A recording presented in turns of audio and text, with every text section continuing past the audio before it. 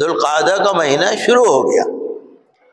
ماشاء اللہ حاجی بھی جانے شروع ہو گئے، قافلے جا رہے تو ذوالقعدہ کا مہینہ قرآن شریف میں لکھا ہے، حدیث شریف میں لکھا ہے کہ یہ احترام والا، حرمت والا مہینہ ہے۔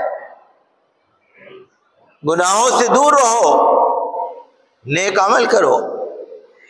سال میں چار مہینے ایسے ہیں جو فضیلت والے ہیں، ذوالقعدہ، ذوالحجہ، محرم، رجب۔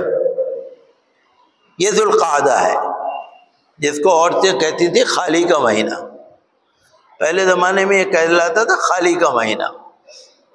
خالی ہے مہینہ ہے بالکل بیکار سا مہینہ ہے۔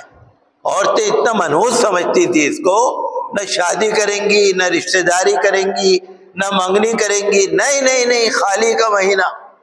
یہ تو خالی کا مہینہ ہے۔ پہلے زمانے میں لوگوں کے اپنے اپنے عقیدے تھے۔ یہ احترام والا مہینہ ہے، حرمت والا مہینہ ہے دلقادہ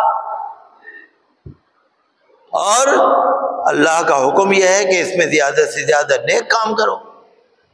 اب یہ ہمارے اوپر ہے کہ ہم اس مہینے کا کتنا احترام کرتے ہیں۔ یہ تو ہم عمل کر رہے ہیں نا۔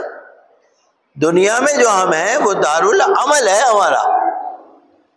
جو بھی آپ کام کریں گے، آپ کو عمل ملے گا، جو بھی آپ کام کریں گے۔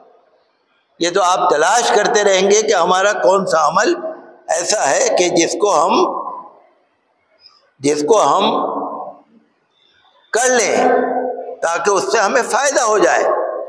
اب یہ تو آپ کو اپنے اوپر غور کرنا ہے کہ تھوڑے وقت میں ہم کیسے زیادہ کام کر سکتے ہیں۔